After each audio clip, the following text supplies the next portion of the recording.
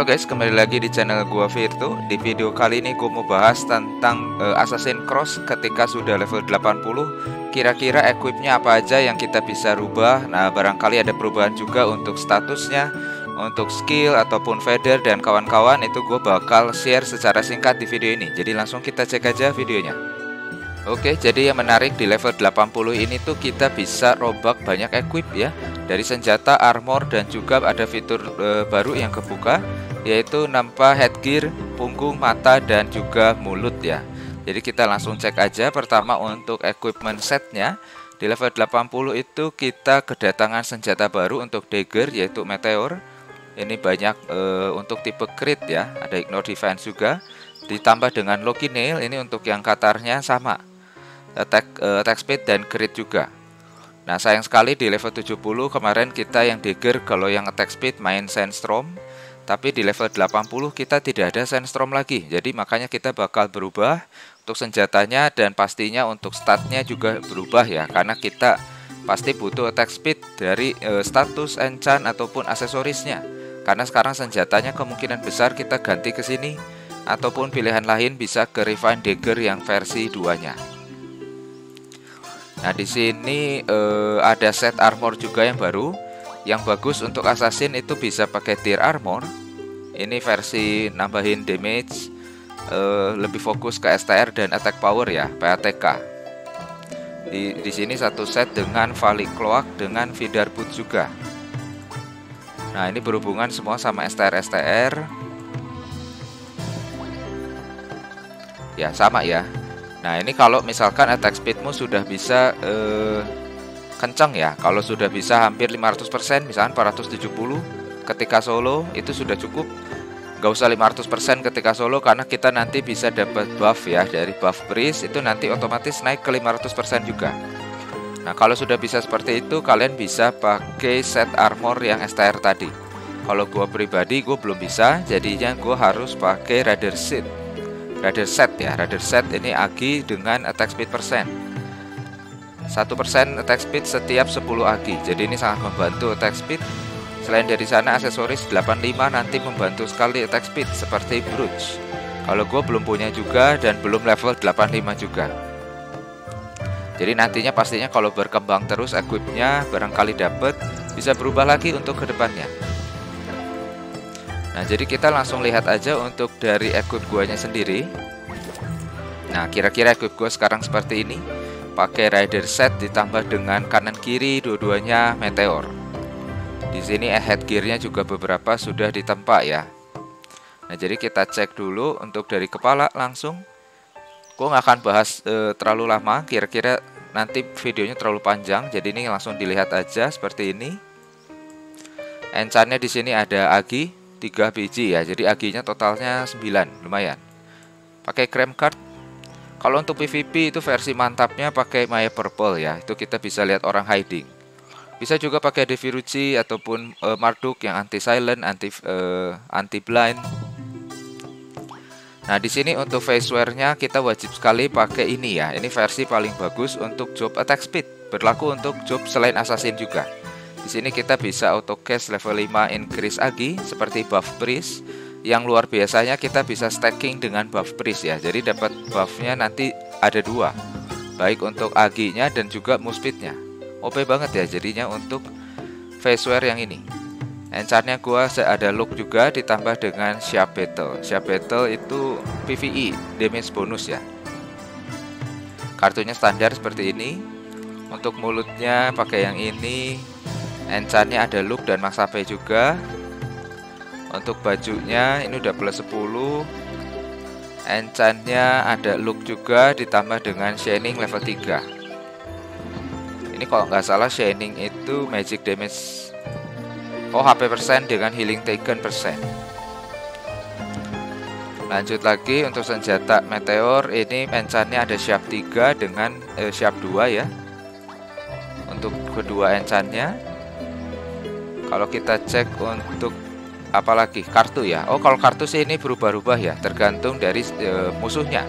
Baik untuk PVP kita fokus ke skeleton worker atau hydra, bisa juga masukin di buff di buff seperti requiem, metaller itu juga bisa.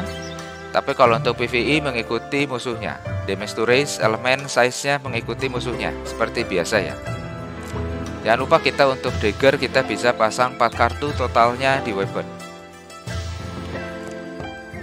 Lanjut lagi untuk clocknya Ini ada enchant ENT look Dapat tranquil level 3 Lumayan juga sih ya Gue pasang pakai J-card untuk sekarang Aduh sorry salah Tranquil itu oh crit rest. Ya ini sementara dapat ini lumayan lah, ada looknya juga. Jadi diambil dulu ya. Untuk sepatunya enchantnya STR look. Untuk aksesoris fighting spirit masih sama seperti kemarin. Untuk kartu juga rasanya standar ya, masih sama. Ya ini kartu wajib pakai stem worm bintang 3 horong time home lagi jadi dua biji sama kobold. Nah horong kalau lagi dicabut sebenarnya bisa pasang kobold lagi. Cuman gue belum ada ya Rebutan terus koboldnya Nah untuk kartu di cloaknya selain J-card bisa juga pasang kartu-kartu reduction yang lain Atau pakai versi lebih bagusnya Ninetale atau Vagabond Wolf. Nah itu versi mahalnya. Untuk sepatu juga versi yang lebih bagusnya bisa pakai Martyr ada Agi sama Mas Ape itu juga lumayan bagus ya. Untuk aksesoris sementara seperti ini udah udah cukup sih. Lalu kostumnya pakai yang ini efeknya lumayan ya sama satu lagi punggungnya enchantnya juga STR Agi kartu standar harusnya ada defiling puppet cuma sayangnya belum pernah dapet ya nah ini langsung kita masuk untuk virusnya di sini untuk virusnya itu ada 4 core ya yang paling penting untuk assassin dagger attack speed crit. Nah, itu ada 4 core. Yang paling pertama itu harus ada yang ini. Momentum modul. Ini bakal membantu attack speedmu besar sekali. Kemudian yang kedua adalah aftershock. Ini kalau level tinggi lebih mantap lagi ya. Nambahin critnya besar sekali. Contoh ini Aftershock level 5 itu nambahin 30 crit 30 crit itu setara dengan 90 look ya Jadi gila ini, besar sekali Ini masih level 5 Bayangkan kalau ini level 7 Kemudian core berikutnya adalah eh, Yang ini Jack Slash Ini ada change red cardnya trigger double ya Selain dari situ, core yang berikutnya lagi adalah yang barusan sempat gua pasang ya. Nah, corrosive poison. Ini juga bagus sekali. Jadi eh, poison attack kita itu menambahkan ekstra 22% ketika melawan air, tanah, api dan angin. Nah, jadi untuk core-nya sebenarnya itu ya, part itu. Yang lainnya sih versi bonus-bonus ya. Bisa pakai mana length reversal, nambahin damage semakin dekat musuh. Bisa juga pakai eh, status yang PATK atau yang nambahin STR yaitu bonus-bonus lah tapi 4 core tadi yang paling utama berikutnya ini gue bakal sharing sedikit untuk skill buildnya sebenarnya sama-sama aja sih ya gue nggak akan bahas secara detail ini kalian bisa langsung lihat aja langsung di screenshot untuk tipsnya next untuk yang assassinnya seperti ini standar sebenarnya ya. Dan ini adalah skill build ketika PvE ataupun grinding dan juga MVP-an semua yang berhubungan dengan PvE Lalu untuk job 3 nya ketika Assassin Cross seperti ini Fokus naikin yang pertama adalah EDP Find Weakness Lalu yang Double Attack Mastery Baru terakhir kita naikin Poison React Untuk skill point sisanya. Nah di sini untuk versi PvP nya juga sangat mudah Karena Assassin lumayan simple Jadi tidak banyak beda jauh ya di sini gue sudah siapkan loadout berikutnya Untuk PvP first jobnya masih sama aja Beda sedikit dari shield touch-nya Lalu untuk second jobnya aja yang ada perubahannya. Untuk yang paling kirinya masih sama, mantok semua. Nah, untuk Enchant Poison sementara naikin level 4 dulu ya. Kalau misalkan e, job level masih e, belum naik, barangkali ke job 3 ya. Kan kita 40 poin dulu nih. Nah, kita naikin 5 poin ke sini. Biar bisa unlock backslide hiding. Dari sini yang paling penting. Jadi ketika kita backslide itu langsung hilang lagi. Jadi ini sangat penting untuk PvP. Nah, jadi 6 poin ke sini, 4 poin ke Enchant Poison.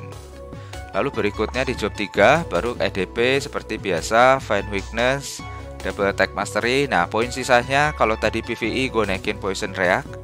Di PvP sini juga bisa naikin Poison React, tapi gue lebih prioritasin naikin enchant poison ke level 10 dulu biar lebih lama durasinya PATK nya juga lebih besar jadi ini lumayan ya kebantu sekali juga. Nah kira-kira untuk skill buildnya seperti itu. E, kemudian gue bakal share sedikit untuk beberapa hal lain ya contohnya feather dan statue. Nanti kira-kira gue posisinya sekarang seperti ini. Gak akan dijelaskan secara detail gue hanya sharing aja kira-kira e, posisi statue-nya seperti apa untuk sekarang pastinya ini sebenarnya simple juga naikin yang berhubungan sama job kita ya. Kalau job gua berarti yang berhubungan sama PATK STR, ignore defense itu kita fokus naikin itu. Lalu untuk feather nah ini feather juga kira-kira seperti ini.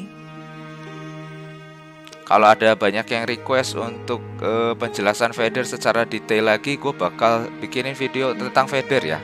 Part keduanya. Waktu itu part ke satu udah keluar tapi mungkin belum terlalu mendalam ya. Nah ini page satunya seperti ini. Page 2 boleh jadi barangkali jadi inspirasi ya. Dua page pertama itu versi elite kemudian page 3 versi setengah elite page keempat versi F2P cuman dua emas tiga ungu. Yang ini juga sama setengah elit page kelimanya. Sisanya page ke-6 ini juga semuanya dua emas tiga ungu. Sampai paling bawah nah itu kira-kira untuk feather gua. Dan juga satu lagi adalah e, petnya jadi petnya kira-kira sekarang seperti ini. Untuk pet sebenarnya agak tricky ya karena tergantung kita lagi ngapain. Kalau lagi time and space beda lagi pet yang kita pakai. Kalau misalkan lagi MVP-an, kadang beda juga. Kalau lagi grinding itu gue pasang Babo JR karena Babo JR sangat membantu untuk healing ya. Jadi dia setiap pukul ngeheal terus asal dia crit jadi gue bakal irit potion.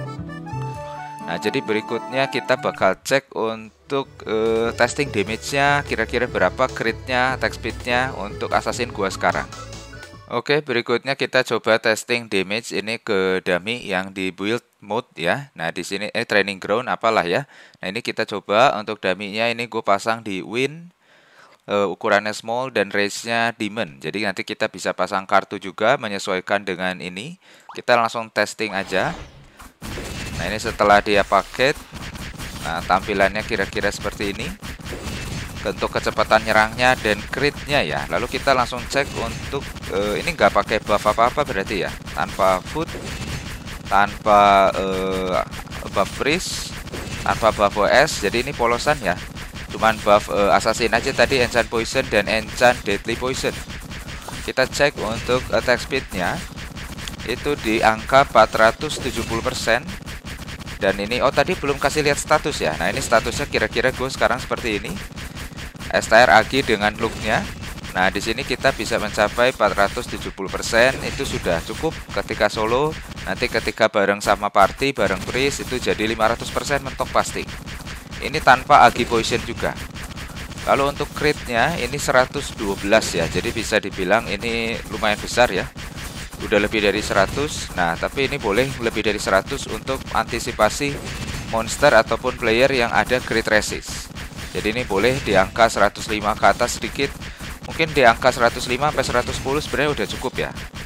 Ini 112 juga ya oke lah. Nanti ini bisa juga e, rubah enchant sedikit kalau turun looknya juga nanti ini turun juga untuk critnya dan PATK nya sekarang di angka 4900 ini pastinya e, PATK ini bisa sampai 5000 lebih ya. Kalau lagi bareng sama Priest sama WS apalagi kalau gue pakai buff pakai food wah ini pasti 5000 lebih.